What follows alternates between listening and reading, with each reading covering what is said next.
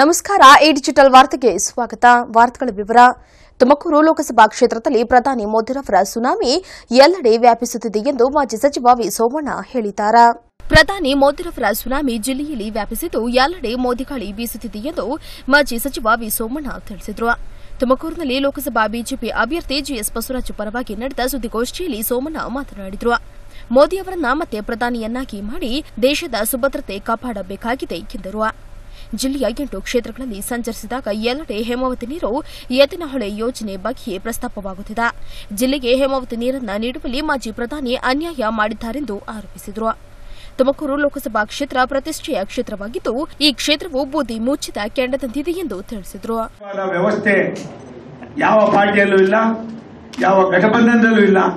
ಈ ದೇಶವನ್ನ ಮತ್ತೊಮ್ಮೆ ಸದೃಢವಾಗಿ ಕಟ್ತಕ್ಕಂಥದಕ್ಕೆ ಈ ದೇಶದ ಸಮೃದ್ಧಿಯನ್ನ ಸಂಪತ್ಭರಿತ ರಾಷ್ಟ್ರವನ್ನು ಮಾಡ್ತಕ್ಕಂಥದಕ್ಕೆ ಒಬ್ಬರೇ ಒಬ್ಬರು ನಾಯಕರು ಸನ್ಮಾನ್ಯ ಮೋದಿ, ನರೇಂದ್ರ ಮೋದಿ ಅನ್ನೋದನ್ನ ಈ ಭಾಗದ ಜನ ಅಲ್ಲಲ್ಲಲ್ಲೇ ಮಾತನಾಡ್ತಾ ಇರ್ತಕ್ಕಂಥದ್ದನ್ನ ನಾನು ಕೂಡ ಸುಮಾರು ಎಂಟತ್ತು ದಿನಗಳಿಂದ ಕೇಳ್ತಾ ಇದ್ದೀನಿ. ನಾನು ತಮ್ಮ ಮೂಲಕ ವಿನಂತಿ ಮಾಡೋದಿಷ್ಟೇನೆ ಈ ಚುನಾವಣೆ ದೇಶದ ಚುನಾವಣೆ. ಈ ರಾಷ್ಟ್ರದ ಭಾವ- ಭಾವೈಕ್ಯತೆಯ ಚುನಾವಣೆ. ಈ ದೇಶವನ್ನ ಉಗ್ರಗಾಮಿಗಳಿಂದ ಈ ದೇಶದಲ್ಲಿರ್ತಕ್ಕಂಥ ಕೆಲವು ಅಹಿತಕರ ಘಟನೆಗಳನ್ನು ನಡೆಸ್ತಕ್ಕಂಥ ಬಗ್ಗು ಬಡಿತಕ್ಕಂಥ ಚುನಾವಣೆ, ವಿಶ್ವದ ಭೂಪಟದಲ್ಲಿ ಭಾರತೀಯರು ಅಂತ ಹೇಳಿದ್ರೆ ಹೆಮ್ಮೆ ಪಡ್ತಕ್ಕಂಥ ಕೆಲಸವನ್ನ ಈಗಾಗಲೇ ರಾಷ್ಟ್ರದ ಪ್ರಧಾನಮಂತ್ರಿಗಳು ಮಾಡಿದ್ದಾರೆ. ಆ ನಿಟ್ಟಿನಲ್ಲಿ ಈ ಚುನಾವಣೆ ಪಕ್ಷಾತೀತವಾದ, ಜಾತ್ಯತೀತ ಚುನಾವಣೆ ಅಂತ ನಾನೇ ಕೇಳ್ತೀನಿ ಅಂದ್ರೆ ಯಾವುದೇ ಪಾರ್ಟಿಯವರು ಕೂಡ ಹತ್ತಾರು ಹಳ್ಳಿಗಳಿಗೆ ನಾನು ಹೋಗಿ ಬಂದಿದ್ದೇನೆ. ಜಿಲ್ಲೆಯ ಎಲ್ಲೆಡೆ ಅಭಿವೃದ್ಧಿ ಕಾರ್ಯಗಳು ಮೋದಿರವರು ಮಾಡಿದ್ದು, ಇದರಿಂದಾಗಿ ಈ ಚುನಾವಣೆಯು ಹೆಮ್ಮೆಯ ಚುನಾವಣೆ ಆಗಿದೆ ಎಂದು ಮಾಜಿ ಸಚಿವ ಶಿವಣ್ಣ ತಿಳಿಸಿದರು. ಮೋದಿರವರನ್ನ ಪ್ರಧಾನಿಯನ್ನಾಗಿ ಮಾಡುವ ಉದ್ದೇಶದಿಂದ ತುಮಕೂರಿನ ಬಿಜೆಪಿ ಅಭ್ಯರ್ಥಿಯನ್ನ ಗೆಲ್ಲಿಸಲು ಯುವಕರು ಉತ್ಸಾಹ ತೋರುತ್ತಿದ್ದಾರೆಂದು ಹೇಳಿದರು. ಹೇಮಾವತಿ ನೀರಿಗಾಗಿ ಜಿಲ್ಲೆಯಲ್ಲಿ ಹೋರಾಟ ನಡೆಸುವುದಾಗಿ ಶಿವಣ್ಣರವರು ತಿಳಿಸಿದರು. ನಮ್ಮರೆಲ್ಲ ಹಿರಿಯರೆಲ್ಲ ಇದ್ದೀವಿ. ಅದು ಆದರೆ ಸೋಮಣ್ಣ ಉಸ್ತುವಾರಿ ಆಗಿರೋದಕ್ಕೆ ಇಡೀ ಜಿಲ್ಲೆ ಒಳಗೆ ಇರ್ತಕ್ಕಂಥ ಯಾವ ಸಣ್ಣ ಪಣ್ಣ ಸಣ್ಣ ಮನೆ ಮನೆಗೆಲ್ಲ ಇಲ್ಲನಪ್ಪ? ಅವೆಲ್ಲ ರಿಪೇರಿ ಆಗಿ ಇವತ್ತು ನಾವೆಲ್ಲ ಅಷ್ಟು ಕೆಲಸ ಮಾಡ್ತಿದ್ವಿ. ಹೆಮ್ಮೆ ಏನು ಅಂದರೆ ವಯಸ್ಸಾಗಿರ್ತಕ್ಕಂಥ ನಮ್ಮ ಕಾರ್ಯಕರ್ತರುಗಳು ಇವತ್ತು ಉತ್ಸಾಹದಿಂದ ಕೆಲಸ ಮಾಡ್ತಾರೆ. ಅಂದ್ರೆ ಈ ದೇಶಕ್ಕೆ ಮೊದಲು ಒಬ್ಬ ಪ್ರಧಾನಿ ಬಂದವರೇ, ದೇಶ ವಿದೇಶ ನೋಡ್ತಕ್ಕಂಥ ಒಬ್ಬ ಪ್ರಧಾನಿ ಬಂದವರೇ, ದೇಶ ವಿಭಜನೆ ಆಗಿದ್ದಾಗ ಹೆಂಗಿತ್ತು, ದೇಶ ಈಗ ಹೆಂಗೆ ಆಗ್ತಾ ಇದೆ ಅಂತಕ್ಕಂಥದ್ದು ನೋಡೋರೆ. ಅದಕ್ಕೋಸ್ಕರ ಇವತ್ತು ಇಲ್ಲಿ ನಮ್ಮ ಸಾಹೇಬರು ಇದ್ದಾರೆ. ಅಲ್ಲ ಸಾಬ್ರು ಏ, ನೀನು ಮಹಮ್ಮದ್ ಗೌರಿ ಬರೋದಕ್ಕೆ ಮೊದಲು ನೀನು ನಮ್ಮನೆ ಕಡೆ ಭಯ ನಾನು ಲಿಂಗಾಯತನಾದಾಗ ನೀನು ಆಗಿದ್ದೆ ಅಷ್ಟೇ. ಇದನ್ನ ಬಿಟ್ಟು ಮಲ್ಲಿಕಾರ್ಜುನ ಜ್ಞಾಪಿಸ್ಕೊಂತಾರೆ, ಮರಿ. ಮಲ್ಲಿಕಾರ್ಜುನ ಎಲೆಕ್ಷನ್ಸ್ ಇತ್ತಲ್ಲ ಹಂಗೆ ಕೊಡ್ಗೆ ಶುರು ಮಾಡೋರು. ಅದಕ್ಕೋಸ್ಕರ ನೀವು ನಮಗೂ ಸ್ವಲ್ಪ ಸಹಾಯ ಮಾಡ್ರಪ್ಪ. ಗ್ರಾಮಾಂತರ ಕ್ಷೇತ್ರದ ಮಾಜಿ ಶಾಸಕ ಬಿ. ಸುರೇಶ್ ಕೂಡ ಮಾತನಾಡಿ, ಮಾಜಿ ಪ್ರಧಾನಿ ದೇವೇಗೌಡರು ಯಾವ ನೈತಿಕತೆ ಇಟ್ಟುಕೊಂಡು ಸ್ಪರ್ಧೆ ಮಾಡಲು ತುಮಕೂರಿಗೆ ಏಕೆ ಬಂದರೆಂದು ಪ್ರಶ್ನಿಸಿದರು. ಮುಖ್ಯಮಂತ್ರಿ ಕುಮಾರಸ್ವಾಮಿ ವಿರುದ್ಧ ವಾಗ್ದಾಳಿ ನಡೆಸಿದರು. ಯಾಕೆಂದ್ರೆ ಯಾವುದೇ ಒಬ್ಬ ವ್ಯಕ್ತಿ ತನ್ನ ಒಂದು ಕ್ಷೇತ್ರವನ್ನ ತಗೊಳ್ಬೇಕಾದ್ರೆ, ಬರಬೇಕಾದ್ರೆ ಚುನಾವಣೆ ಸ್ಪರ್ಧೆ ಮಾಡಬೇಕಾದ್ರೆ ಪೂರ್ವಪರವನ್ನ ಯೋಚನೆ ಮಾಡ್ತಾರೆ. ಮೊದಲನೇದಾಗಿ ನಾನು ಕುಮಾರಸ್ವಾಮಿ ಅವರಿಗೆ ಇವತ್ತು ಜನ ಮಾತಾಡ್ತಿದ್ದಾರೆ. ನೀವು ಮುಖ್ಯಮಂತ್ರಿ ಆಗಕ್ಕಿಂತ ಮುಂಚೆ ಮ್ಯಾನಿಫೆಸ್ಟೋಗಳನ್ನ ಹೊಡೆದಿದ್ರಿ. ಪೂರ್ತಿ ರೈತರ ಸಾಲ ಮನ್ನಾ. ಇನ್ನೂ ಆಗ್ಲಿಲ್ಲ. ಪೂರ್ತಿ ಶ್ರೀಶಕ್ತಿ ಸಾಲ ಮನ್ನಾ. ಅದು ಕೂಡ ಆಗ್ಲಿಲ್ಲ. ವೃದ್ಧಾಪ್ಯ ವೇತನ ಮತ್ತೆ ಅಂಗವಿಕಲರ ವೇತನ ಆರು ಸಾವಿರ ರೂಪಾಯಿ ಕೊಡ್ತೀವಿ ಅಂತ ಹೇಳಿದ್ರು. ಇವತ್ತು ಕೂಡ ಅದು ನೆನೆಗುದಿಗೆ ಬಂದಿಲ್ಲ. ಆದ್ರೆ ನೆನೆಗುದಿಗೆ ಬಿದ್ದೋಗಿದೆ. ಆಮೇಲೆ ಈ ಪ್ರೆಗ್ನೆಂಟ್ ವುಮೆನ್ಸ್ಗೆ ಮತ್ತೆ ಬೇರೆ ಬೇರೆಯವರಿಗೆಲ್ಲ ಆರು ಸಾವಿರ ರೂಪಾಯಿ ಹೇಳಿದ್ರಿ. ಈಗ ಜನ ನಮ್ಮ ಹಳ್ಳಿ ಕೇಳ್ತಿದ್ದಾರೆ, ನಿಖಿಲ್ ಎಲ್ಲಿದ್ಯಪ್ಪ ಅಂತ ನೀವು ಹೇಳಿದ್ರಲ್ಲ ಈಗ ಜನ ಕುಮಾರಣ್ಣ ಎಲ್ಲಿದ್ಯಪ್ಪ? ಅಂದ್ರೆ ಸಾಲ ಮನ್ನಾ ಆಗ್ಲಿಲ್ವಲ್ಲಪ್ಪ ಕುಮಾರಣ್ಣ ನೀನ್ ಎಲ್ಲಿದ್ಯಾ? ಹುಡ್ಬೇಕಲ್ಲಪ್ಪ ಚುನಾವಣೆ ಮುಖ್ಯಮಂತ್ರಿ ಆದ್ಮೇಲೆ ನಮ್ ಕೈಗೆ ಸಿಕ್ಕಿಲ್ವಲ್ಲಪ್ಪ? ಬರೀ ಜೆಡಿಎಸ್ ಕಾಂಗ್ರೆಸ್ನ ಒಂದು ರಾಜಕೀಯದಲ್ಲಿ ನೀನು ಕಳೆದೋಗಿದ್ಯಲ್ಲಪ್ಪ? ಶಾಸಕ ಜೊತೆ ಗಣೇಶ್ ಮುಖಂಡರಾದ ಶಿವಪ್ರಸಾದ್ ಹುಲಿನಾಯ್ಕರ್ ಷಣ್ಮುಖ ಸಿಎನ್ ರಮೇಶ್ ಮತ್ತಿತರರು ಪಾಲ್ಗೊಂಡಿದ್ರು. ಮೈತ್ರಿ ಅಭ್ಯರ್ಥಿಗಳು ಇಪ್ಪತ್ತು ಕ್ಷೇತ್ರದಲ್ಲಿ ಜಯಗಳಿಸಲಿದ್ದಾರೆ ಎಂದು ಮಧುಗಿರಿಯಲ್ಲಿ ಮಾಜಿ ಪ್ರಧಾನಿ ಎಚ್ ಡಿ ದೇವೇಗೌಡ ತಿಳಿಸಿದರು. ಈ ಚುನಾವಣೆಯಲ್ಲಿ ಸಿದ್ದರಾಮಯ್ಯ ಅವರೊಂದಿಗೆ ಪ್ರಚಾರಕ್ಕೆ ತೆರಳಿ ಇಪ್ಪತ್ತಕ್ಕೂ ಹೆಚ್ಚು ಸ್ಥಾನಗಳಲ್ಲಿ ಮೈತ್ರಿ ಅಭ್ಯರ್ಥಿಗಳನ್ನು ಗೆಲ್ಲಿಸಿಕೊಂಡು ಬರ್ತೇನೆ ಎಂದು ಮಾಜಿ ಪ್ರಧಾನಿ ಹಾಗೂ ತುಮಕೂರು ಲೋಕಸಭಾ ಕ್ಷೇತ್ರದ ಅಭ್ಯರ್ಥಿ ಎಚ್ ದೇವೇಗೌಡ ತಿಳಿಸಿದರು. ಮಧುಗಿರಿ ಪಟ್ಟಣದ ರಾಜೀವ್ ಗಾಂಧಿ ಕ್ರೀಡಾಂಗಣದಲ್ಲಿ ಹಮ್ಮಿಕೊಂಡಿದ್ದ ಕಾಂಗ್ರೆಸ್ ಜೆಡಿಎಸ್ ಮೈತ್ರಿ ಪಕ್ಷದ ಕಾರ್ಯಕರ್ತರ ಸಮಾವೇಶ ಉದ್ಘಾಟಿಸಿ ಮಾತನಾಡಿ, ವಾಜಪೇಯಿ ಕಾಲದಲ್ಲಿ ಪಾರ್ಲಿಮೆಂಟ್ ಕಲಾಪ ಸರಾಗವಾಗಿ ನಡೆಯುತ್ತಿತ್ತು. ಆದರೆ ಮೋದಿ ಕಾಲದಲ್ಲಿ ಸರಿಯಾದ ಪಾರ್ಲಿಮೆಂಟ್ ನಡೆಯಲಿಲ್ಲ. ಈ ಬಗ್ಗೆ ನೋವಿದೆ ಸೋನಿಯಾ ಗಾಂಧಿ ಮತ್ತು ರಾಹುಲ್ ಗಾಂಧಿ ಅವರು ಈ ಮೈತ್ರಿ ಸರ್ಕಾರದ ರೂವಾರಿಗಳು. ಮೋದಿ ಮತ್ತೆ ಆಕಸ್ಮಿಕವಾಗಿ ಅಧಿಕಾರಕ್ಕೆ ಬಂದರೆ ಅವರು ಸರ್ವಾಧಿಕಾರಿಯಾಗ್ತಾರ? ರಾಜ್ಯದ ಎಲ್ಲಾ ಕಡೆ ಸಿದ್ದರಾಮಯ್ಯ ಜೊತೆ ತೆರಳಿ ಹದಿನಾಲ್ಕರವರೆಗೆ ಪ್ರಚಾರ ಮಾಡಿ ಇಪ್ಪತ್ತಕ್ಕೂ ಹೆಚ್ಚು ಸ್ಥಾನಗಳನ್ನು ಗೆಲ್ತೇವೆ ಎಂದರು. ಕೆಎನ್ ರಾಜುನ ಮಧುಗಿರಿಯನ್ನ ಜಿಲ್ಲೆ ಮಾಡಲು ಮನವಿ ಮಾಡಿದ್ದಾರೆ? ಮಧುಗಿರಿಯನ್ನ ಪ್ರತ್ಯೇಕ ಜಿಲ್ಲೆ ಮಾಡಲು ನಾನು ಸಹ ಬೆಂಬಲಿಸ್ತಾನ ಸಿಎಂ ಕುಮಾರಸ್ವಾಮಿ ಮತ್ತು ಡಿಸಿಎಂ ಪರಮೇಶ್ವರ್ ಬಳಿ ಈ ವಿಷಯ ಪ್ರಸ್ತಾಪ ಮಾಡ್ತೇನೆ ಎಂದು ಕೆಎನ್ ರಾಜಣ್ಣನಿಗೆ ಡಯಾಸ್ ಬಳಿ ಕರೆದು ಜನರ ಮುಂದೆ ವಾಗ್ದಾನ ಮಾಡಿದ್ರು. ಈ ಕರ್ತವ್ಯ ನಿರ್ವಹಣೆ ಮಾಡೋದ್ರಿಂದ ಇಲ್ಲಿ ನಾವು ಕನಿಷ್ಠ ಇಪ್ಪತ್ತು ಸೀಟ್ನಾದರೂ ಗೆದ್ದು ಭಾರತೀಯ ಜನತಾ ಪಾರ್ಟಿಗೆ ಆರು, ಏಳು, ಎಂಟು ಸೀಟ್ ಸಿಕ್ಕೋದು ಮಾಡಿದರೆ ನಮ್ಮ ಮೈತ್ರಿ ಇವತ್ತು ಈ ಒಂದಿಗೆ, ಒಂದೇ ವೇದಿಕೆ ಮೇಲೆ ನಾವೇನು ಕೂತಿದ್ದೀರೋ ಅದಕ್ಕೆ ಸಾರ್ಥಕ ಆಗುತ್ತೆ ನಮ್ಮ ಮಾತನ್ನು ನಾನು ನಮ್ಮ ಕೊಡುಗೆ ಸೋನಿಯಾ ಗಾಂಧಿ ರಾಹುಲ್ ಗಾಂಧಿಯವರಿಗೆ ನಾವೆಲ್ಲ ಸೇರಿ ಕನಿಷ್ಠ ಇಪ್ಪತ್ತು ಸ್ಥಾನಗಳನ್ನಾದರೂ ಗಳಿಸ್ಬೇಕು. ನಾನು ಅದಕ್ಕಿಂತ ಹೆಚ್ಚು ಮಾತನಾಡಲಿಕ್ಕೆ ಹೋಗಲ್ಲ. ಸಾಧ್ಯ ಇದೆ. ಈ ಸಾಧ್ಯ ಇದೆ ಅನ್ನೋ ಅನುಭವದಲ್ಲೇ ಈ ಕಳೆದ ಮೂರರಿಂದ ಸಿದ್ದರಾಮಯ್ಯನವರು ನಾನು ನೀವು ಇನ್ನೂ ಹದಿನಾಲ್ಕನೇ ತಾರೀಕುವರೆಗೂ ಅನೇಕ ಕಡೆ ಹೋಗ್ತೇವೆ. ಅವರ ಹೆಲಿಕಾಪ್ಟರ್ಲೇ ಹೋಗ್ತಾರೆ. ನಮ್ಮ ಮುಂದೆ ಇರೋದು ಈ ದೇಶದಕ್ಕೆ ಬಂದಿರುವ ಈ ಸಂಕಷ್ಟದಲ್ಲಿ ನಮ್ಮ ಕೊಡುಗೆ ಏನುವುದು ಅಷ್ಟೇ. ನಾವೆಲ್ಲ ಸೇರಿದ್ದೀವಿ. ಮತ್ತು ಒಂದು ಗೂಡಿ ನಾವು ಕೆಲಸ ಮಾಡೋಣ. ದೇವೇಗೌಡರಿಗೆ ಗೆಲುವಿನ ಬಗ್ಗೆ ಸಂಶಯ ಇಟ್ಕೊಂಡು ನಾನು ಮಾತನಾಡ್ತಿದ್ದೆ ನಾವೆಲ್ಲ ಸೇರಿದಂಥ ಈ ಘಟನೆ ಬಗ್ಗೆ ನಾನು ಸೂಕ್ಷ್ಮವಾಗಿ ಈ ಮಾತನ್ನು ಹೇಳಿದ್ದೇನೆ. ಈ ಸಭೆಯಲ್ಲಿ ಮಾತನಾಡಿದಂಥ ಇಬ್ರಾಹಿಮು ನನ್ನ ಹಳೆ ಮಾಜಿ ಮುಖ್ಯಮಂತ್ರಿ ಸಿದ್ದರಾಮಯ್ಯ ಮಾತನಾಡಿ, ಈಗಿನ ಪ್ರಧಾನಿ ಮೋದಿ ಹಾಗೂ ಅಮಿತ್ ಶಾ ಪ್ರಜಾತಂತ್ರ ವ್ಯವಸ್ಥೆಯನ್ನ ಹಾಳು ಮಾಡುವ ನಿಟ್ಟಿನಲ್ಲಿ ಪ್ರಯತ್ನಿಸುತ್ತಿದ್ದಾರೆ. ಇವರು ನಡೆಯುತ್ತಿರುವ ಆಡಳಿತ ಸರ್ವಾಧಿಕಾರಿ ಧೋರಣೆಯಿಂದ ಕೂಡಿದ. ದೇಶದಲ್ಲಿರುವ ಸಿಬಿಐ, ಇಡಿ ಇನ್ಕಮ್ ಟ್ಯಾಕ್ಸ್ಗಳನ್ನು ಬಳಸಿಕೊಂಡು ತಮ್ಮ ಅಧಿಕಾರವನ್ನು ದುರುಪಯೋಗ ಪಡಿಸಿಕೊಳ್ಳುತ್ತಿದ್ದಾರೆ. ಬರೀ ಕಾಂಗ್ರೆಸ್ ಹಾಗೂ ಜೆಡಿಎಸ್ ನಾಯಕರ ಮೇಲೆ ದಾಳಿ ಮಾಡುತ್ತಿದ್ದಾರೆ. ಪ್ರಧಾನಿ ಮಂತ್ರಿ ಮೋದಿ ಮತ್ತೆ ಪ್ರಧಾನಿಯಾಗುವ ಭ್ರಮೆಯಲ್ಲಿದ್ದಾರೆ. ಮಾಧ್ಯಮಗಳು ಯಾವುದೇ ಸಮೀಕ್ಷೆಯನ್ನ ನೀಡಲಿ. ಬಿಜೆಪಿ ಯಾವುದೇ ಕಾರಣಕ್ಕೂ ಅಧಿಕಾರಕ್ಕೆ ಬರಲ್ಲ, ಎಂದರು. ಹಿಂದುಳಿದವರು, ದಲಿತರು, ಅಲ್ಪಸಂಖ್ಯಾತರು, ಮಹಿಳೆಯರಲ್ಲಿ ಕೈ ಜೋಡಿಸಿ ಪ್ರಾರ್ಥನೆಯನ್ನು ಮಾಡ್ತೇನೆ. ಈ ಸಂವಿಧಾನ ನಿಮಗೆ ರಕ್ಷಣೆಯನ್ನು ಕೊಟ್ಟಿದೆ. ನಿಮಗೆ ಅವಕಾಶಗಳನ್ನು ಕಲ್ಪಿಸಿಕೊಟ್ಟಿದೆ. ಸಂವಿಧಾನ ಏನಾದರೂ ಬದಲಾವಣೆಯಾಗಿ ಬೇರೆ ರೂಪ ಬಂದರೆ, ಬಿಜೆಪಿ ಅಪೇಕ್ಷೆಯಂತೆ ಸಂವಿಧಾನ ಬದಲಾವಣೆ ಆದರೆ ದಲಿತರು, ಹಿಂದುಳಿದವರು, ಅಲ್ಪಸಂಖ್ಯಾತರು, ರೈತರು, ಮಹಿಳೆಯರು ನಾಶ ಆಗ್ತಾರೆ ಅಂತಕ್ಕಂಥದ್ದನ್ನು ತಿಳಿಸಬೇಕಾಗ್ತದೆ ಇದು ನಮ್ಮೆಲ್ಲರ ಕರ್ತವ್ಯ. ಅಧಿಕಾರಕ್ಕೆ ನಾವು ಬರ್ತೀವಿ ಅಂತಕ್ಕಂಥದ್ದು ಮುಖ್ಯ ಅಲ್ಲ. ದೇಶದಲ್ಲಿ ಸಂವಿಧಾನ ಉಳಿಬೇಕು. ಬಾಬಾ ಸಾಹೇಬ್ ಅಂಬೇಡ್ಕರ್ ಅವರು ಕೊಟ್ಟಿರ್ತಕ್ಕಂಥ ಸಂವಿಧಾನ. ಅದು ಉಳಿದ್ರೆ ಎಲ್ರಿಗೂ ಸಮಾನ ಅವಕಾಶಗಳು. ನಿಮಗೆ ಮೋಹನ್ ಭಾಗವತ್ ಮೋಹನ್ ಭಾಗವತ್, ಆರ್ ಎಸ್ ಎಸ್ನ ಸರಸಂಚಾಲಕ the top most man R S ಎಸ್ನಲ್ಲಿ. ಅವರು ಬಿಹಾರ್ನಲ್ಲಿ ಹೇಳಿಕೆ ಕೊಡ್ತಾರೆ ಮೀಸಲಾತಿ ಇನ್ನು ಎಷ್ಟು ವರ್ಷ ಇರಬೇಕು. ಮೀಸಲಾತಿ ಉಪಮುಖ್ಯಮಂತ್ರಿ ಡಾಕ್ಟರ್ ಜಿ ಪರಮೇಶ್ವರ್ ಮಾತನಾಡಿ ದೇಶ ದೃಷ್ಟಿಯಿಂದ ಎರಡು ಪಕ್ಷದವರು ಒಂದಾಗಿದ್ದಾವ.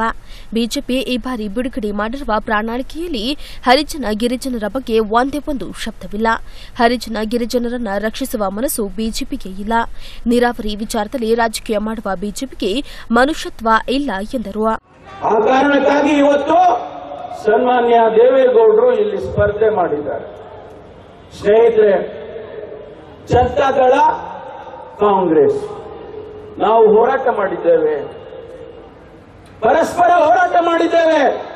ಎಂಬತ್ತೊಂಬತ್ತರಿಂದ ನಾನು ಇಲ್ಲಿಯವರೆಗೆ ಜನತಾ ದಳದಕ್ಕೆ ಹೋರಾಟ ಮಾಡಿದ್ದೇನೆ. ಭಾರತೀಯ ಜನತಾ ಪಾರ್ಟಿಗೆ ಅಲ್ವಲ್ಲ? ಆದರೆ ಇವತ್ತು ನಾವಿಬ್ರು ಒಟ್ಟಾಗಿದ್ದೇವೆ. ಯಾವ ಕಾರಣಕ್ಕೆ ಒಟ್ಟಾಗಿದ್ದೇವೆ? ದೇಶದ ದೃಷ್ಟಿಯಿಂದ ಒಟ್ಟಾಗಿದ್ದೇವೆ. ದೇಶದ ಸಮಸ್ಯೆಗಳಿಂದ ಇವತ್ತು ನಾವು ಒಟ್ಟಾಗಿದ್ದೇವೆ ನಮ್ಮ ಸಿದ್ಧಾಂತ ಒಂದೇ ಸಿದ್ಧಾಂತ. ಜನತಾದಳದ ಸಿದ್ಧಾಂತ, ಕಾಂಗ್ರೆಸ್ಸಿನ ಸಿದ್ಧಾಂತ ಒಂದೇ ಅಂತಕ್ಕಂಥ ದೃಷ್ಟಿಯಿಂದ ಇವತ್ತು ನಾವು ಒಂದಾಗಿದ್ದೇವೆ. ಆ ಸಿದ್ಧಾಂತ ಬಡವರ ಪರವಾಗಿ, ದೀನ ದಲಿತರ ಪರವಾಗಿ, ಅಲ್ಪಸಂಖ್ಯಾತರ ಪರವಾಗಿ, ಹಿಂದುಳಿದವರ ಪರವಾಗಿ, ದೇಶದ ಅಭಿವೃದ್ಧಿಯ ಪರವಾಗಿ ನಾವಿಬ್ಬರು ಕೂಡ ಒಂದೇ ಸಿದ್ಧಾಂತವನ್ನ ಇಟ್ಟುಕೊಂಡಿದ್ದೇವೆ. ಸಂಸದ ಎಸ್ಪಿ ಮುದ್ದನ್ಮೇಗೌಡ ಮಾಜಿ ಶಾಸಕ ಕೆಎನ್ ರಚನಾ ಸಿಎಂ ಇಬ್ರಾಹಿಂ, ಮಾಜಿ ಸಚಿವರಾದ ಬಂಡೆಪ್ಪ ಕಾಶಂಪುರ್, ಮಾಜಿ ಶಾಸಕರಾದ ತಿಮ್ಮರಾಯಪ್ಪ, ಸುಧಾಕರ್ ಲಾಲ್, ರಾಜ್ಯಸಭಾ ಸದಸ್ಯ ಹನುಮಂತರಾಯಪ್ಪ, ಕೆಎಸ್ಆರ್ಟಿಸಿ ಅಧ್ಯಕ್ಷ B R Satyanarayan, MLC Bemal Kantharaju ಇತರರು ಇದ್ದರು. ಮಾಜಿ ಪ್ರಧಾನಿ ಎಚ್ ಡಿ ದೇವೇಗೌಡರವರನ್ನ ಮಹಾ ನಾಯಕರೆಂದು ಪರಿಗಣಿಸಿ ಅವರಿಗೆ ಮತ ನೀಡಬೇಕೆಂದು ಮಾಜಿ ಸಚಿವ ಬಿಜಿಆರ್ ಸಿದಿಯರ್ ಅವರು ತುಮಕೂರಿನಲ್ಲಿ ಮನವಿ ಮಾಡಿದ್ದಾರೆ. ಮಾಜಿ ಪ್ರಧಾನಿ ಎಚ್ ಡಿ ದೇವೇಗೌಡರು ಅರವತ್ತು ವರ್ಷ ರಾಜಕೀಯ ಇತಿಹಾಸದಲ್ಲಿ ಕೇವಲ ಆರು ವರ್ಷ ಅಧಿಕಾರ ಅನುಭವಿಸಿದ್ದಾರೆಂದು ಮಾಜಿ ಸಚಿವ ಬಿಜಿಆರ್ ಸಿಂಧಿಯಾ ತಿಳಿಸಿದರು.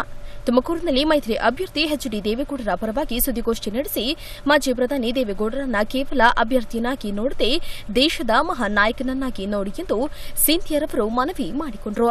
ಲೋಕಸಭಾ ಚುನಾವಣೆಯಲ್ಲಿ ದೇವೇಗೌಡರು ಮತ್ತು ಮಲ್ಲಿಕಾರ್ಜುನ್ ಖರ್ಗೆರವರು ಪ್ರಭಾವ ಬೀರುವ ಅಭ್ಯರ್ಥಿಯಾಗಿದ್ದಾರೆಂದು ತಿಳಿಸಿದರು. ದೇವೇಗೌಡರು ಮುತ್ಸದಿ ರಾಜಕಾರಣಿಯಾಗಿದ್ದಾರೆಂದು ಹೇಳಿ ಹಿಂದುಳಿದ ವರ್ಗಗಳಿಗೆ ರಾಜಕೀಯ ಮೀಸಲಾತಿ ನೀಡಿ ಹೆಗ್ಗಳಿಕೆ ದೇವೇಗೌಡರಿಗೆ ಇದೆ ಎಂದು ತಿಳಿಸಿದರು. ಈ ಒಂದು ಸನ್ನಿವೇಶದಲ್ಲಿ ಬಹಳ ಪ್ರಮುಖವಾಗಿ ಶ್ರೀಮಾನ್ ದೇವೇಗೌಡರು ಅಭಿಮಾನಿಗಳು, ಕಾರ್ಯಕರ್ತರು ಮತ್ತು ಈ ಕ್ಷೇತ್ರದ ಅನೇಕ ಮುಖಂಡಗಳ ಒಂದು ಅಭಿಪ್ರಾಯದ ಮೇರೆಗೆ ಈ ಲೋಕಸಭಾ ಕ್ಷೇತ್ರವನ್ನು ಆಯ್ಕೆ ಮಾಡಿಕೊಂಡು ಇಲ್ಲಿ ಸ್ಪರ್ಧೆಯನ್ನು ಮಾಡಿದ್ದಾರೆ.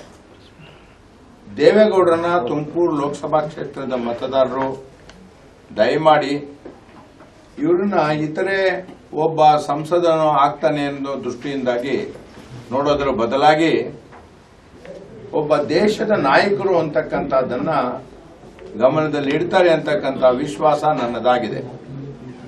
ಕರ್ನಾಟಕದಲ್ಲಿ ಈ ಲೋಕಸಭಾ ಚುನಾವಣೆಗಳಲ್ಲಿ ದೆಹಲಿಯ ರಾಜಕಾರಣದಲ್ಲಿ, ಪಾರ್ಲಿಮೆಂಟಲ್ಲಿ ಮತ್ತು ಭಾರತ ಸರ್ಕಾರದಲ್ಲಿ ಯಾರೇ ಪ್ರಧಾನಿಗಳಾಗಲಿ, ಯಾವುದೇ ಪಕ್ಷದ ಸರ್ಕಾರ ಇದ್ರೂ ಸಹಿತ ಪ್ರಭಾವವನ್ನು ಬೀರ್ತಕ್ಕಂಥ ಯಾವುದೇ ಚುನಾವಣೆಯಲ್ಲಾಗಲಿ ಜಾತಿ ಹಣದ ಬಲವೇ ಜಾಸ್ತಿ ಎಂದರು. ವಿಧಾನ ಪರಿಷತ್ ಸದಸ್ಯ ತಿಪ್ಪೇಸ್ವಾಮಿ, ಮಾಜಿ ಶಾಸಕ ಎಚ್ ನಿಂಗಪ್ಪ, ಕಾಂಗ್ರೆಸ್ನ ಹೊನ್ನಗಿರಿಗೌಡ ಮತ್ತಿತರರು ಪಾಲ್ಗೊಂಡಿದ್ದರು. ತುಮಕೂರಿನಲ್ಲಿ ಮೈತ್ರಿ ಅಭ್ಯರ್ಥಿ ಎಚ್ ಡಿ ದೇವೇಗೌಡರನ್ನ ಬೆಂಬಲಿಸಲು ಇದೇ ತಿಂಗಳ ಹದಿಮೂರರಂದು ಹಿಂದುಳಿದ ವರ್ಗಗಳ ಸಮಾವೇಶ ನಡೆಯಲಿದೆ ಎಂದು ಮಾಜಿ ಶಾಸಕ ಸುರೇಶ್ ಬಾಬು ಹೇಳಿದ್ದಾರೆ. ತುಮಕೂರು ಲೋಕಸಭಾ ಕ್ಷೇತ್ರದ ಮೈತ್ರಿ ಅಭ್ಯರ್ಥಿ ಎಚ್ ಡಿ ದೇವೇಗೌಡರ ಪರವಾಗಿ ಬರುವ ಶನಿವಾರದಂದು ತುಮಕೂರಿನಲ್ಲಿ ಹಿಂದುಳಿದ ವರ್ಗಗಳ ಸಮಾವೇಶವನ್ನು ಆಯೋಜಿಸಲಾಗಿದೆ. ತುಮಕೂರಿನಲ್ಲಿ ಚಿಕ್ಕನಾಯಕನಹಳ್ಳಿ ಮಾಜಿ ಶಾಸಕ ಹಾಗೂ ಹಿಂದುಳಿದ ವರ್ಗಗಳ ಮುಖಂಡ ಸುರೇಶ್ ಬಾಬುರವರು ಸುದ್ದಿಗೋಷ್ಠಿಯಲ್ಲಿ ಮಾತನಾಡಿದರು. ಇದೇ ತಿಂಗಳ ಹದಿಮೂರರಂದು ತುಮಕೂರಿನ ಕೇಂದ್ರ ಗ್ರಂಥಾಲಯ ಆವರಣದಲ್ಲಿ ಹಮ್ಮಿಕೊಳ್ಳಲಾಗಿರುವ ಹಿಂದುಳಿದ ವರ್ಗಗಳ ಸಮಾವೇಶಕ್ಕೆ ಅಭ್ಯರ್ಥಿ ದೇವೇಗೌಡ ಸೇರಿದಂತೆ ಕಾಂಗ್ರೆಸ್ ಜೆಡಿಎಸ್ನ ಸಚಿವರು, ಮಾಜಿ ಸಚಿವರು, ಕುರುಬ ಸಮುದಾಯದ ಮುಖಂಡರುಗಳು ಪಾಲ್ಗೊಳ್ಳುವರೆಂದು ಸುರೇಶ್ ಬಾಬು ಹೇಳಿದರು. ಶೇಕಡ ಅರವತ್ತೊಂದರಷ್ಟು ಹಿಂದುಳಿದ ವರ್ಗದವರಿದ್ದು ಈ ಸಮಾವೇಶದ ಮೂಲಕ ಹಿಂದುಳಿದ ವರ್ಗದ ಮತದಾರರು ದೇವೇಗೌಡರಿಗೆ ಮತ ನೀಡುವಂತೆ ಪ್ರೇರೇಪಿಸಲಾಗುವುದೆಂದು ತಿಳಿಸಿದರು. ದೇವೇಗೌಡರು ಸಂಸದರಾಗಿ ಆಯ್ಕೆಯಾದರೆ ಜಿಲ್ಲೆಯಲ್ಲಿ ಹೇಮಾವತಿ ನೀರಿನ ಸಮಸ್ಯೆ ಜೊತೆಗೆ ವಿವಿಧ ಬೇಡಿಕೆಗಳ ಈಡೇರಿಕೆಗೆ ಹೆಚ್ಚಿನ ಆದ್ಯತೆ ನೀಡುವರೆಂದು ಹೇಳಿದರು. ಮಾಜಿ ಮುಖ್ಯಮಂತ್ರಿ ಹಾಗೂ ಕುರುಬ ಸಮುದಾಯದ ಮುಖಂಡ ಸಿದ್ದರಾಮಯ್ಯರವರ ಸೂಚನೆ ಮೇರೆಗೆ ಈ ಸಮಾವೇಶ ಆಯೋಜಿಸುತ್ತಿರುವುದಾಗಿ ತಿಳಿಸಿದರು. ಬಾಗೂರ್ ನವಲೆ ಟನಲ್ ಬಾಗೂರ್ ನವಲೆ ಟನಲ್ ಅವತ್ತು ಮಾಡ್ಲಿಕ್ಕೆ ಅನುಮತಿ ಕೊಡದೇ ಇದ್ರೆ ಖಂಡಿತ ನಮ್ಮ ಜಿಲ್ಲೆಗೆ ನೀರು ಬರ್ತಾ ಇರಲಿಲ್ಲ ಅವತ್ತು. ಇವತ್ತು ಸುಮ್ಮನೆ ಇವರು ಬಿಜೆಪಿಯವರು ದೂಷಿಸಕ್ಕೋಸ್ಕರ ಚುನಾವಣೆಗೋಸ್ಕರ ಇದು ಮಾಡ್ತಾ ಇದ್ದಾರೆ.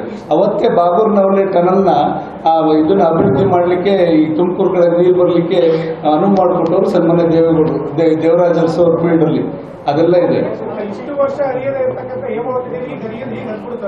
ಇಲ್ಲ ಎಲ್ಲ ಎಲ್ಲೆಲ್ಲ ಅಲೋಕೇಶನ್ಸ್ ಇದೆ ಅದೆಲ್ಲನೂ ಕೂಡ ಖಂಡಿತ ಕೆಲಸಗಳನ್ನ ತ್ವರಿತಗತಿಯಲ್ಲಿ ಹೆಚ್ಚಿನ ರೀತಿಯಲ್ಲಿ ಮಾಡಲಿಕ್ಕೆ ನಾವೆಲ್ಲರೂ ಕೂಡ ಶ್ರಮ ವಹಿಸಿ ಅವ್ರನ್ನ ಬಳಸಿಕೊಂಡು ನಮ್ಮ ಲೋಕಸಭಾ ಅಭ್ಯರ್ಥಿನ ಮತ್ತೆ ಎಲ್ಲರನ್ನು ಕೂಡ ಬಳಸಿಕೊಂಡು ಜ ಅಧಿಕಾರದಲ್ಲಿರ್ತಕ್ಕಂಥವ್ರನ್ನ ಖಂಡಿತ ನಾವು ಜಿಲ್ಲೆಗೆ ಎಲ್ಲ ರೀತಿಯ ನೀರಿನ ಸಮಸ್ಯೆನ ನಿವಾರಣೆ ಮಾಡಲಿಕ್ಕೆ ಮತ್ತೆ ಬೇರೆ ಬೇರೆ ಇಂಡಸ್ಟ್ರೀಸ್ ಇರ್ಬೋದು ಇನ್ನು ಹಲವಾರು ಯೋಜನೆಗಳು ರೈಲ್ವೆ ಮಾರ್ಗ ಇರ್ಬೋದು ಎಲ್ಲದನ್ನು ಕೂಡ ತರಲಿಕ್ಕೆ ಖಂಡಿತ ನಾವು ಸಾಕಷ್ಟು ಶ್ರಮವನ್ನು ಹಾಕ್ತೇವೆ ಅಂತ ಹೇಳಿ ಬಯಸ್ತೇವೆ. ಎಲ್ಲ ಇಲ್ಲ ಅಂತ ಹೇಳಕ್ಕೆ ಹೋಗಲ್ಲ. ನಾವು ಆಶಾಭಾವನೆ ಇಟ್ಕೊಂಡಿರೋ ಗೆದ್ದೆ ಗೆಲ್ತೀವಿ ಅಂತ ಒಂದು ಆಶಾಭಾವನೆ ಇಟ್ಕೊಂಡಿದ್ದೀವಿ. ಖಂಡಿತ? ಅದು ಅವ್ರು ಬಂದ್ರೆ ಬಗೆಹರಿತಾರೆ ಅಂತ ಗೊಂದಲ ಏನಿಲ್ಲ. ಹೆಂಗಿದ್ರು ಆ ಸಮಸ್ಯೆನ ಬಗೆಹರಿಸ್ತಾರೆ. ಈಗ ಸರ್ಕಾರನು ಕೂಡ ಇದೆ. ನಾನು ಅದ ಅಪಸ್ವರ ಹೇಳಲಿಕ್ಕೆ ತಯಾರಿಲ್ಲ ನಾವೇನು ನಾವು ಇದು ಮನೋಭಾವದಲ್ಲಿಲ್ಲ ಇವತ್ತು ಇವತ್ತು.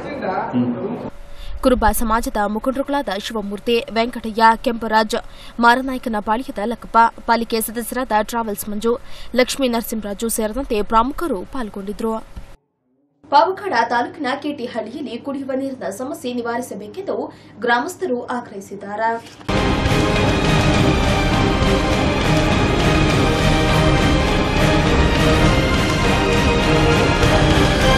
ಪಾವಗಡ ತಾಲೂಕಿನಲ್ಲಿ ಕೆಟಿ ಹಳ್ಳಿಯಲ್ಲಿ ಕುಡಿಯುವ ನೀರಿನ ಸಮಸ್ಯೆ ತೀವ್ರತರವಾಗಿದ್ದು, ಜನರು ಕುಡಿಯುವ ನೀರಿಗೆ ಅಲಿಯುತ್ತಿದ್ದಾರೆ. ಗ್ರಾಮದಲ್ಲಿ ಸುಮಾರು ಮೂರು ಸಾವಿರ ಮಂದಿ ಜನಸಂಖ್ಯೆ ಇದೆ. ಆದರೆ ಅಗತ್ಯಕ್ಕೆ ತಕ್ಕಂತೆ ಕುಡಿಯುವ ನೀರಿನ ವ್ಯವಸ್ಥೆಯಾಗಿಲ್ಲ. ಗ್ರಾಮದಲ್ಲಿ ಮೂರು ಶುದ್ಧ ಕುಡಿಯುವ ನೀರಿನ ಘಟಕಗಳು ಸ್ಥಾಪನೆಯಾಗಿದೆ. ಆದರೆ ಎರಡು ಘಟಕಗಳು ಕೆಟ್ಟು ನಿಂತಿವೆ. ಉಳಿದ ಒಂದು ಘಟಕ ಸಮರ್ಪಕ ನಿರ್ವಹಣೆ ಇಲ್ಲದೆ ಸಮಯಕ್ಕೆ ಸರಿಯಾಗಿ ಜನರಿಗೆ ನೀರು ಸಿಗ್ತಿಲ್ಲ. ಇದರಿಂದಾಗಿ ಗ್ರಾಮದ ಜನತೆ ಅಕ್ಕಪಕ್ಕದ ಊರುಗಳಿಗೆ ಹೋಗಿ ಕುಡಿಯುವ ನೀರು ತರಬೇಕಾದಂತಹ ದುಸ್ಥಿತಿ ಎದುರಾಗಿದೆ ಎಂದರು. ಈ ಸಂಬಂಧ ಗ್ರಾಮದ ಹನುಮಂತರಾಯಪ್ಪ ಮಾತನಾಡಿ, ಗ್ರಾಮದ ಜನತೆ ಪ್ರತಿದಿನ ಕುಡಿಯುವ ನೀರಿಗಾಗಿ ಇತರೆ ಗ್ರಾಮಗಳಿಗೆ ಹೋಗಿ ನೀರು ತರುವಂತಾಗಿದೆ. ಪಂಚಾಯಿತಿ ಪಿಡಿಒಗೆ ಫೋನ್ ಆಯಿಸಿ ಕೇಳಿದರೆ ಅದಕ್ಕೂ ನಮಗೂ ಸಂಬಂಧ ಇಲ್ಲ ಎಂದು ಹೇಳ್ತಾರೆ. ಘಟಕಕ್ಕೆ ನೀರು ಸರಬರಾಜು ಮಾಡುವ ಟ್ಯಾಂಕರ್ನವರಿಗೆ ಪಂಚಾಯಿತಿಯವರು ಸಕಾಲಕ್ಕೆ ಹಣ ನೀಡುತ್ತಿಲ್ಲ. ಇದರಿಂದಾಗಿ ಇರುವ ಏಕೈಕ ಘಟಕವು ಸಮರ್ಪಕವಾಗಿ ಕಾರ್ಯನಿರ್ವಹಿಸುತ್ತಿಲ್ಲ. ಪಂಚಾಯಿತಿಯವರಿಗೆ ಎಷ್ಟು ಹೇಳಿದರೂ ಪ್ರಯೋಜನವಾಗ್ತಿಲ್ಲ ಎಂದು ದೂರಿದ್ರು. ಈಗ ಕೇಟಳ್ಳಿ ಗ್ರಾಮದಲ್ಲಿ ನೀರಿನ ಸಮಸ್ಯೆ ಆಗಿದೆ. ನೀರು ಎರಡು ಫಿಲ್ಟರ್ ನೀರು ನಿಂತ ಇದೆ ಅಂತಾರೆ ಮೂರು ಶುದ್ಧಕ್ಕೂ ನೀರಿನ ಘಟಕ ಇದಾವೆ. ಎರಡು ಸುಮಾರು ಒಂದು ತಿಂಗಳು ಒಂದೂವರೆ ತಿಂಗಳು ಆಗಿ ಎರಡು ನಿಂತೋಗಿದ್ದಾವೆ ಗೊಲ್ರೆಟ್ಟಿ ಹತ್ರ ಇಲ್ಲಿ ಮೂರ್ನಾಲ್ಕು ದಿನದ ಕೆಲವು ಅದೊಂದರಲ್ಲೇ ನೀರು ಬಿಡೋರು. ಅದನ್ನೂ ನೀರು ಬಿಡ್ತಾ ಇಲ್ಲ. ಅವ್ರನ್ನ ಕೇಳಿದ್ರೆ ನೀರು ಬಿಡೋರ್ನ ಕೇಳಿದ್ರೆ ಅವರು ನೀರು ಬಿಡ್ತಾ ಇಲ್ಲ ಅಂತ ಹೇಳ್ತಾ ಇದ್ದಾರೆ ಪಂಚಾಯತ್ ಪಂಚಾಯತಿನವರು ಪಿ ಡಿ ಅದೇ ಇದನ್ನ ನೀರು ಕೊಡಬೇಕು ಅವ್ರು ಕೊಡೋವರೆಗೂ ಮೆಂಬರ್ ನೀರು ಬಿಡಲ್ಲ ಅಂತ ಹೇಳ್ತಾ ಇದ್ದಾರೆ ನೀವು ಅಧಿಕಾರಿಗಳ ಗಮನಕ್ಕೆ ತಂದಿಲ್ಲ? ಹೇಳಿದಿವಿ ನೀರು ಬಿಡ್ತೀವಿ ಅಂತ ಹೇಳ್ತಾ ಇದ್ದಾರೆ. ಈಗ ನೀವು ಮತ್ತೆ ನೀವೆಲ್ಲ ಹೋಗ್ತೀರಾ? ಕುಡಿಯ ನೀರು ತರ ನಾವು ದೇವಲ್ಕೆರೆ ಮುಗ್ದಾಳ ಬೆಟ್ಟ ಉದ್ಗಟ್ಟೆ ಮಂಗಳವಾರಕ್ಕೆ ಹೋಗ್ತಾ ಇದ್ದೀವಿ. ಈಗ ಇರೋ ಎರಡು ಒಂದರಲ್ಲಿ ಬರ್ತಾ ಇರೋಂತ ನೀರು ಸಾಕಾಗುತ್ತಾ? ಇದು ಕೆಟ್ಟ ಜನ ಸಾಕಾಗದೇ ಇಲ್ಲ. ಮೂರು ಇರೋದೆ ಮೂರಲ್ಲಿನೂ ಈಗ ಮೂರನ್ನು ನಿಲ್ಸಾಕ್ಬಿಟ್ಟಿದ್ದಾರೆ. ಮೂರ್ ಸಾವಿರ ಜನಸಂಖ್ಯೆ ಐತೆ. ಈ ಅಧಿಕಾರಿಗಳು ಯಾರು ಎಷ್ಟು ದಿನದ ಕಿಲ್ಗೂ ಹೇಳ್ತಾ ಇದ್ರು ಇದನ್ನ ಕಿವಿಯಕ್ಕೆ ಹಾಕಂತ ಇಲ್ಲ. ಒಟ್ಟಾರೆ ತಾಲೂಕಿನಲ್ಲಿ ದಿನದಿಂದ ದಿನಕ್ಕೆ ಕುಡಿಯುವ ನೀರಿನ ಸಮಸ್ಯೆ ಹೆಚ್ಚು ಹೆಚ್ಚು ಉಲ್ಬಣವಾಗುತ್ತಿದ್ರೂ ಸಹ ಜನಪ್ರತಿನಿಧಿಗಳು, ಅಧಿಕಾರಿಗಳು ಕಿವಿಗೊಡದಿರುವುದು ವಿಪರಿ ತುಮಕೂರು ಜಿಲ್ಲೆಗೆ ಸಮಗ್ರ ನೀರಾವರಿಗಾಗಿ ಹೋರಾಡುತ್ತೇನೆ ಎಂದು ಟಿಪಟೂರಿನಲ್ಲಿ ಮೈತ್ರಿ ಅಭ್ಯರ್ಥಿ ದೇವೇಗೌಡ ತಿಳಿಸಿದರು. ತುಮಕೂರು ಕ್ಷೇತ್ರದಲ್ಲಿ ಈ ಬಾರಿ ನಾನು ಗೆದ್ದು ದೆಹಲಿಗೆ ಹೋಗ್ತೇನೋ ಇಲ್ವೋ ಗೊತ್ತಿಲ್ಲ. ಅದೆಲ್ಲ, ನಿಮ್ಮ ಕೈಯಲ್ಲಿದೆ. ಆದರೆ ನೀರಾವರಿ ವಿಷಯದಲ್ಲಿ ನಾನು ಯಾರಿಗೂ ಅನ್ಯಾಯ ಮಾಡಿಲ್ಲ. ಈ ಬಾರಿ ಗೆದ್ರೆ ಜಿಲ್ಲೆಯ ಸಮಗ್ರ ನೀರಾವರಿ ಅಭಿವೃದ್ಧಿಗಾಗಿ ಹೋರಾಡುತ್ತೇನೆ. ಕೆರೆಗಳನ್ನು ತುಂಬಿಸಲಾಗುವುದು. ಎಲ್ಲ ಜಾತಿ ಪದ್ಧತಿಯ ಬಗ್ಗೆ ನಾನು ಹೆಚ್ಚು ಮಾತನಾಡುವುದಿಲ್ಲ. ಪರಮೇಶ್ವರ ಅವರ ನೇತೃತ್ವದಲ್ಲಿ ಹೆಚ್ಚು ಆಂಧ್ರದಲ್ಲಿ ಗೆಲ್ಲಿಸಿ ಎಂದು ಮಾಜಿ ಪ್ರಧಾನಿ ತುಮಕೂರು ಕ್ಷೇತ್ರದ ಮೈತ್ರಿ ಅಭ್ಯರ್ಥಿ ಎಚ್ ಡಿ ದೇವೇಗೌಡ ಮನವಿ ಮಾಡಿದರು. ಟಿಪಟೂರಿನಲ್ಲಿ ಆಯೋಜಿಸಿದ ಜೆಡಿಎಸ್ ಕಾಂಗ್ರೆಸ್ ಕಾರ್ಯಕರ್ತರ ಸಭೆ ಉದ್ಘಾಟಿಸಿ ಮಾತನಾಡಿ, ಮೋದಿ ಮತ್ತೆ ನಾನು ಪ್ರಧಾನಿ ಆಗ್ತಾನೆ ಅಂತಾರ. ಅದು ಅಷ್ಟು ಸುಲಭವಲ್ಲ. ನನಗೆ ಯಾವ ಯಾವ ರಾಜ್ಯದಲ್ಲಿ ಯಾವ ಸ್ಥಿತಿ ಇದೆ ಅಂತ ಗೊತ್ತಿದೆ ಕೈಯನ್ನ ಆ ಕಡೆ ಈ ಕಡೆ ಮಾಡಿ ಡ್ಯಾನ್ಸ್ ಮಾಡಿಕೊಂಡು ಮಾತನಾಡಲು ನಮಗೂ ಬರುತ್ತಾ. ಆದರೆ ನಾವು ಆ ರೀತಿ ಮಾತನಾಡಲ್ಲ ಎಂದು ಮೋದಿಯವರ ಕರ್ನಾಟಕದ ಭಾಷಣವನ್ನ ವ್ಯಂಗ್ಯ ಮಾಡಿದ್ರು. ನಾನು ಮತ್ತೆ ಚುನಾವಣೆಗೆ ನಿಲ್ಲೋದಿಲ್ಲ ಅಂದಿದ್ದ. ಆದರೆ ಎಲ್ಲರೂ ಸೇರಿ ಎಳೆದುಕೊಂಡು ಬಂದ್ರು. ಇದೊಂದು ಪರೀಕ್ಷೆ. ಈ ಪರೀಕ್ಷೆಯಲ್ಲಿ ತೆರಗಡೆಯಾಗಲು ನಿಮ್ಮ ಆಶೀರ್ವಾದ ಬೇಕು. ಉಪ ಮುಖ್ಯಮಂತ್ರಿಗಳ ಒತ್ತಾಯದ ಮೇರೆಗೆ ನಾನು ಈ ಬಾರಿ ತುಮಕೂರಿನಲ್ಲಿ ಸ್ಪರ್ಧಿಸಿದ್ದು. ಈ ಮೂಲಕ ಚುನಾವಣೆಯಲ್ಲಿ ನನ್ನನ್ನು ಗೆಲ್ಲಿಸುವಂತೆ ಮನವಿ ಮಾಡಿದ್ರು.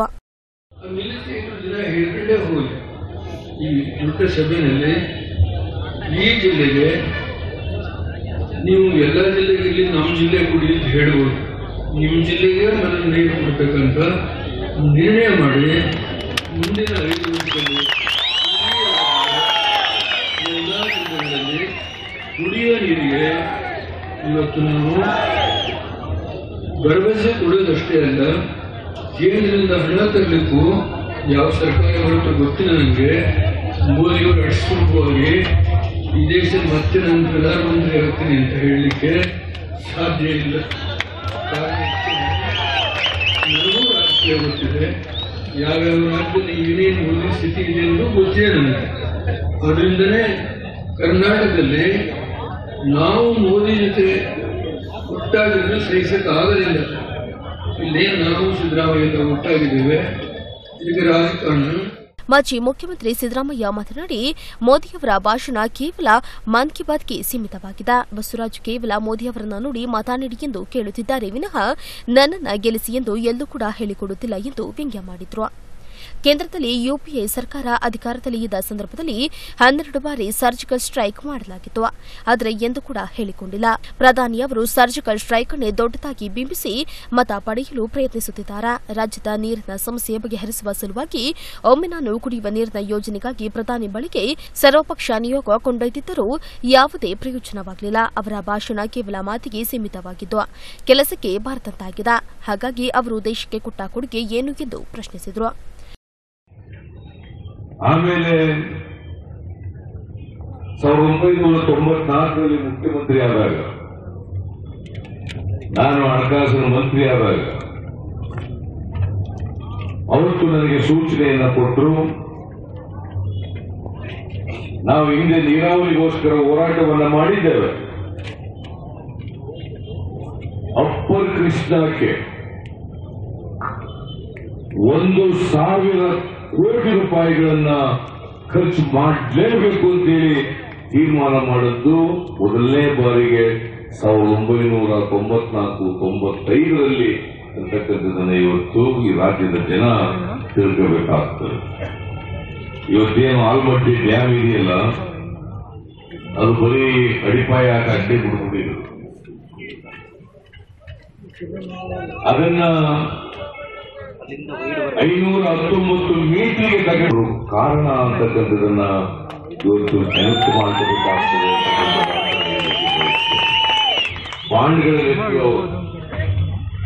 ಬಾಂಡ್ಗಳ ಮೂಲಕ ಹಣ ಶೇಖರಣೆ ಮಾಡಿ ಒಂದು ಸಾವಿರ ಕೋಟಿ ಕನಿಷ್ಠ ಸಭೆಯಲ್ಲಿ ಸಚಿವ ಎಸ್ಆರ್ ಶ್ರೀನಿವಾಸ್ ಜೆಡಿಎಸ್ನ ಮಾಜಿ ಸಭಾಪತಿ ಬಸವರಾಜ್ ಹೊರಟಿ ಕೇಂದ್ರದ ಮಾಜಿ ಸಚಿವ C M Ibrahim, MLC Raju, Latha Ravikumar, ಮುಖಂಡ ಲೋಕೇಶ್ವರ್, ಮಾಜಿ ಶಾಸಕ ಕ್ಷೀರಾಕ್ಷರಿ ಇತರರು ಇದ್ದರು.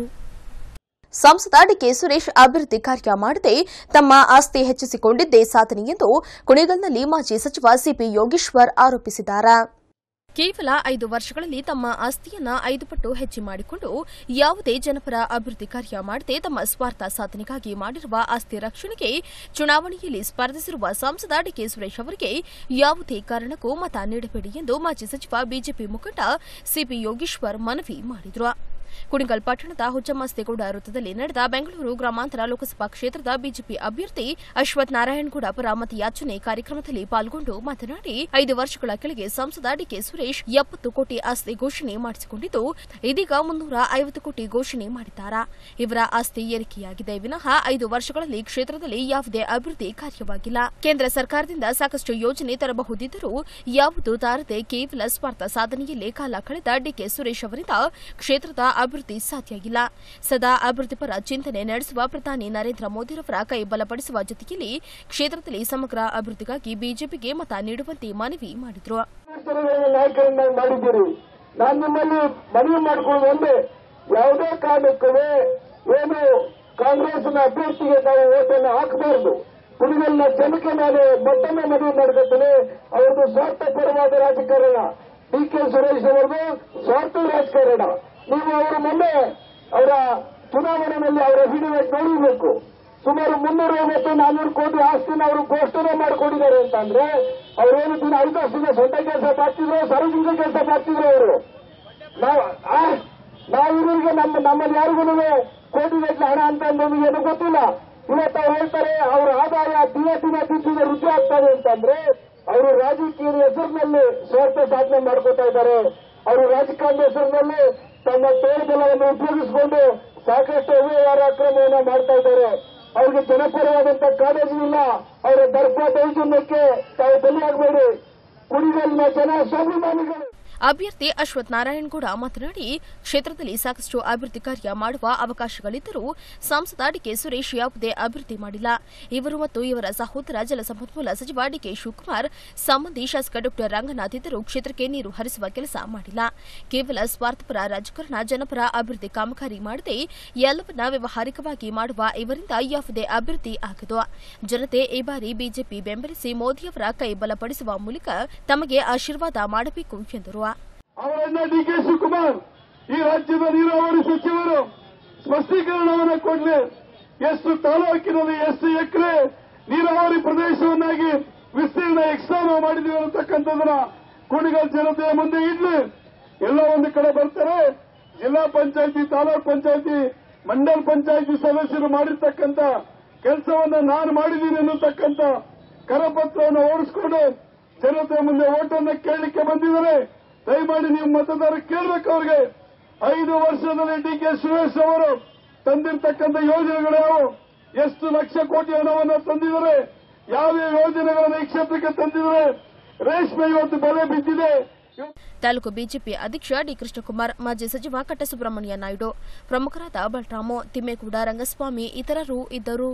ಕರ್ನಾಟಕಕ್ಕೆ ಅಪಾರ ಕೊಡುಗೆ ನೀಡಿರುವ ಮಾಜಿ ಪ್ರಧಾನಿ ಎಚ್ ಡಿ ದೇವೇಗೌಡರವರನ್ನ ಮಹಿಳಾ ಮತದಾರರು ಮತ ನೀಡಿ ಗೆಲ್ಲಿಸಬೇಕೆಂದು ಮಾಜಿ ಸಚಿವೆ ರಾಣಿ ಸತೀಶ್ ಹೇಳಿದ್ದಾರೆ. ದೇವೇಗೌಡರು ಕರ್ನಾಟಕಕ್ಕೆ ಅಪಾರ ಕೊಡುಗೆ ನೀಡಿದ್ದಾರೆಂದು ಮಾಜಿ ಸಚಿವೆ ರಾಣಿ ಸತೀಶ್ ರವರು ಹೇಳಿದರು. ತುಮಕೂರಿನಲ್ಲಿ ಲೋಕಸಭಾ ಮೈತ್ರಿ ಅಭ್ಯರ್ಥಿ ಹಾಗೂ ಮಾಜಿ ಪ್ರಧಾನಿ ಎಚ್ ಡಿ ದೇವೇಗೌಡರ ಪರವಾಗಿ ಜಂಟಿ ಸುದ್ದಿಗೋಷ್ಠಿಯಲ್ಲಿ ಮಾತನಾಡಿದರು. ನೀರಾವರಿ ಸೇರಿದಂತೆ ಹಲವಾರು ವಿಷಯಗಳಲ್ಲಿ ನಿರಂತರ ಹೋರಾಟ ನಡೆಸಿಕೊಂಡು ಬಂದಿರುವ ಮಾಜಿ ಪ್ರಧಾನಿ ದೇವೇಗೌಡರ ಕೊಡುಗೆ ಅಪಾರವಾಗಿದೆ ಎಂದು ತಿಳಿಸಿದರು. ಪ್ರಧಾನಿ ಆಗಿದ್ದಂತಹ ಹಿರಿಯ ಮುತ್ಸದಿ ದೇವೇಗೌಡರಿಗೆ ಮಹಿಳಾ ಮತದಾರರು ಹೆಚ್ಚಿನ ಮತ ನೀಡಿ ಗೆಲ್ಲಿಸಬೇಕೆಂದು ರಾಣಿ ಸತೀಶ್ ಕೋರಿದ್ದಾರೆ. ದಿನಮಾನಗಳಲ್ಲಿ ಹೇಳ್ತಾ ಇದ್ರು ಈಗ ಅವ್ರ ಆಯ್ಕೆ ಆದಾಗ ಅವರ ಆದ್ಯ ಕರ್ತವ್ಯನೂ ಹೌದು. ಮತ್ತು ಇಲ್ಲಿ ಒಬ್ಬ ಪ್ರಜಾಪ್ರತಿನಿಧಿಯಾಗಿ ಅವ್ರು ಮಾಡುವಾಗ ಆ ಆದ್ಯತೆಯನ್ನ ಅವ್ರು ತಗೊಂಡು ಮಾಡ್ತಾರೆ ಅನ್ನೋದು ಎಲ್ಲರಿಗೂ ಗೊತ್ತಿರ್ತದೆ. ಹೌದು ಆಗ್ತದೆ. ಹಾಸನದಿಂದ ಹರಿಯುತ್ತೆ ಅಂತ. ಚಿಕ್ಕೂರಿಗಿರ್ಬೋದು ಇಡೀ ಜಿಲ್ಲೆಗೆ ನೀರಾವರಿ ತರ್ತಕ್ಕಂತ ಅವ್ರಿಗೆ ಯಾಕೆ ಅಂದ್ರೆ ಅವ್ರಿಗೆ ನಾವು ಹೇಳಬೇಕಾಗಿಲ್ಲ. ಅಲ್ಲಿಗೆ ನೀರು ಕುಡ್ಕೊಳಕ್ ಆಗ್ತಾ ಇಲ್ಲ ಈಗಿನ ಪರಿಸ್ಥಿತಿ ಒಳಗೆ. ಕೆಲವು ತಾಂತ್ರಿಕ ಕಾರಣಗಳಿಂದ ಆಗದೆ ಇರಬಹುದು ಅಂದ್ರೆ ಅವರು ದೇವೇಗೌಡರ ಸೊಸೆ ಸೌಮ್ಯ ಜೆಡಿಎಸ್ ಮಹಿಳಾ ಘಟಕದ ಅಧ್ಯಕ್ಷೆ ಲಕ್ಷ್ಮಮ್ಮ ಕಾಂಗ್ರೆಸ್ನ ಗೀತಾ ರುದ್ರೇಶ್ ಗೀತಮ್ಮ ಹಲವಾರು ಪ್ರಮುಖರು ಪಾಲ್ಗೊಂಡಿದ್ರು.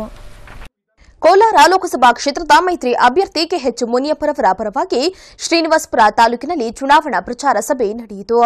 ಶ್ರೀನಿವಾಸಪುರದಲ್ಲಿ ಮೈತ್ರಿ ಸರ್ಕಾರದ ಅಭ್ಯರ್ಥಿಗೆ ಮತ ಚಲಾಯಿಸುವಂತೆ ತಾಲೂಕಿನ ಹಲವು ಪಂಚಾಯಿತಿ ಕೇಂದ್ರಗಳಲ್ಲಿ ಚುನಾವಣಾ ಪ್ರಚಾರ ಮಾಡಲಾಯಿತು.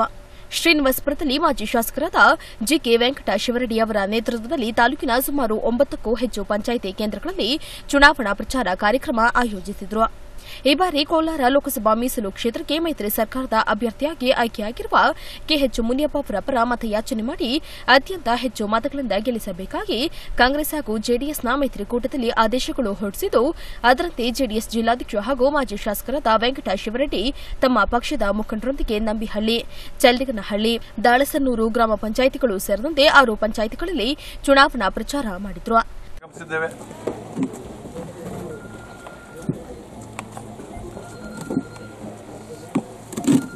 ಬಂಧುಗಳೇ, ಇವತ್ತು ಏನು ವಾಸ್ತವಾಂಶ ನಮ್ಮ ತಾಲ್ಲೂಕಿ ತಾಲೂಕಿನಲ್ಲಿ ಆಗ್ತಾ ಇರೋದು? ನಮಗೆಲ್ಲ ಗೊತ್ತಿದೆ ಇವತ್ತು. ನಮ್ಮ ಪಕ್ಷದ ನನ್ನ ಪಕ್ಷದ ಮುಖಂಡರಿಗೆ, ಇವತ್ತು ಮುಖಂಡರಿಗೆ, ಕಾರ್ಯಕರ್ತರಿಗೆ ನಾನು ನಿವೇದನೆ ಮಾಡ್ಕೊಳ್ಳೋದಿಷ್ಟೇ, ಪ್ರಾರ್ಥನೆ ಮಾಡ್ಕೊಳ್ಳೋದಿಷ್ಟೇ. ನಮ್ಮ ಪಕ್ಷದ ಹೈಕಮಾಂಡ್ ಆದೇಶ ಏನಿದೆ? ಮೈತ್ರಿ ಧರ್ಮವನ್ನ ಪಾಲನೆ ಮಾಡೋದು. ನಮ್ಮ ಆದ್ಯತೆಯ ಕರ್ತವ್ಯ ಇವತ್ತು ಕೆ ಎಚ್ ಮುನಿಯಪ್ಪನವರಿಗೆ, ನಮ್ಮ ಮೈತ್ರಿ ಅಭ್ಯರ್ಥಿ ಅವರಿಗೆ. ಕಾರ್ಯಕ್ರಮದಲ್ಲಿ ಮಾಜಿ ಜಿಲ್ಲಾ ಪಂಚಾಯಿತಿ ಅಧ್ಯಕ್ಷ ನಾರಾಯಣಸ್ವಾಮಿ, ಜಿಲ್ಲಾ ಪಂಚಾಯಿತಿ ಸದಸ್ಯ ಶ್ರೀನಿವಾಸ್ ರವರು ಹಾಜರಿದ್ದು, ಚುನಾವಣಾ ಪ್ರಚಾರವನ್ನ ಯಶಸ್ವಿಗೊಳಿಸಿದ್ರು. ಈ ಸಂದರ್ಭದಲ್ಲಿ ಪಕ್ಷದ ಮುಖಂಡ ಹಾಗೂ ಜಿಲ್ಲಾ ಪಂಚಾಯಿತಿ ಸದಸ್ಯರಾದ ಶ್ರೀನಿವಾಸರವರು ಮಾತನಾಡಿ, ತಾಲೂಕಿನಾದ್ಯಂತ ನಮಗೆ ಒಳ್ಳೆಯ ಬೆಂಬಲ ಸಿಗುತ್ತಿದ್ದು ವೆಂಕಟ ಶಿವರೆಡ್ಡಿ ಅವರ ನೇತೃತ್ವದಲ್ಲಿ ಈ ಬಾರಿ ವಿಧಾನಸಭಾ ಚುನಾವಣಾ ಸಂದರ್ಭಕ್ಕಿಂತ ಹೆಚ್ಚು ಬೆಂಬಲ ಸಿಗುತ್ತಿದ್ದು, ಕಾಂಗ್ರೆಸ್ ಪಕ್ಷದ ಮುಖಂಡ ಹಾಗೂ ಮೈತ್ರಿಕೂಟದ ಅಭ್ಯರ್ಥಿಯಾದ ಕೆಎಚ್ ಮುನಿಯಪ್ಪನವರಿಗೆ ನಾವು ಬೆಂಬಲಿಸುತ್ತಿರುವುದಾಗಿ ತಿಳಿಸಿದರು. ಪ್ರಚಾರ ಯಾವ ರೀತಿ ಪ್ರಚಾರ ನಮ್ಮ ಶ್ರೀರಂಗ ತಾಲೂಕಲ್ಲಿ ಒಳ್ಳೆ ರೆಸ್ಪಾನ್ಸ್ ಕೊಡ್ತಾರೆ, ಒಳ್ಳೆ ಅನುಕೂಲ ಆಗೈತೆ, ಒಳ್ಳೆ ಇದರಲ್ಲಿ ರೆಸ್ಪಾನ್ಸ್ ಕೊಡ್ತಾರೆ ಮತದಾರರೆಲ್ಲ. ನಮ್ಮ ಯಂಗ್ಶೂರ್ ನೇತೃತ್ವದಲ್ಲಿ ಒಳ್ಳೆ ಮಾಮೂಲಿ ನಮ್ಮ ಅಸೆಂಬ್ಲಿ ಹೆಂಗೆ ಓಟ್ ಆಗೈತೆ, ಅದು ಅತ್ಯಧಿಕವಾಗಿ ವೋಟ್ ಮಾಡ್ತಾರೆ ಅಂತ ನನಗೆ ನಂಬಿಕೆ ಐತೆ. ಎಲ್ಲೂ ಗೊಂದಲ ಇಲ್ಲ. ಕಾಂಗ್ರೆಸ್ ಅವರು, ನಾವು ಕಾಂಗ್ರೆಸ್, ಜೆ ಡಿ ಎಸ್ ಹೊಂದಾಣಿಕೆ ಮಾಡಿಕೊಂಡು ನಾವು ಕೆ ಜಿ ಮುನಿಯಪ್ಪ ಅವರಿಗೆ ನಾವು ಅತ್ಯಧಿಕ ಓಟ್ ಓಟ್ ಮಾಡಿಸಿ ಅತ್ಯಧಿಕ ಮೆಜಾರಿಟಿಯಲ್ಲಿ ಗೆಲ್ಲಿಸ್ತೀವಿ ಅಂತ ನಮಗೆ ನಂಬಿಕೆ ಆಯಿತು ಸರ್ ಇವತ್ತು ಮತ್ತೆ ಎಲ್ಲೆಲ್ಲಿದೆ ಕ್ಯಾಂಪೇನ್ ಇವಾಗ ಚಂದಗಾನಹಳ್ಳಿ ಮಾಸ್ತೇನಹಳ್ಳಿ ದರಸೂರು ರೋಣೂರು ಆ, ಇವೆಲ್ಲ ಇನ್ನು ಇನ್ನೂ ಇದ್ದಾವೆ. ಅಲ್ಲಿ ಹೋಗ್ತೀವಿ ಅಲ್ಲೆಲ್ಲ ಎಲ್ಲ ಒಳ್ಳೆ ರೆಸ್ಪಾನ್ಸ್ ಕೊಡ್ತಾವ್ರೆ. ಒಳ್ಳೆ ಅತ್ಯಧಿಕ ಮತಗಳಲ್ಲಿ ಗೆಲ್ಲಿಸ್ತೀವಿ ಅಂತ ನಮಗೆ ನಂಬಿಕೆ ಇದೆ. ಹೆಂಗ್ ಇಲ್ಲಿಗೆ ಈ ಡಿಜಿಟಲ್ ವಾರ್ತಾ ಪ್ರಸಾರ ಮುಕ್ತಾಯವಾಯಿತು. ಹೆಚ್ಚಿನ ಮಾಹಿತಿಗಾಗಿ ವೀಕ್ಷಿಸಿ ಈ ಡಿಜಿಟಲ್